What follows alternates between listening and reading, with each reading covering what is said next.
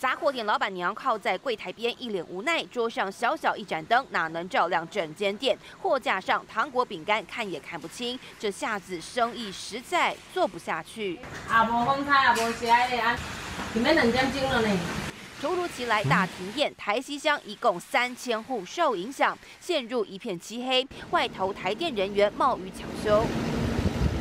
受到台风外围环流与东北季风影响，云林前一天下午降下了间歇性雨势，瞬间风势达到十一级，狂风呼呼吹。晚上八点，高压电线被吹落，瞬间三千户陷入一片漆黑。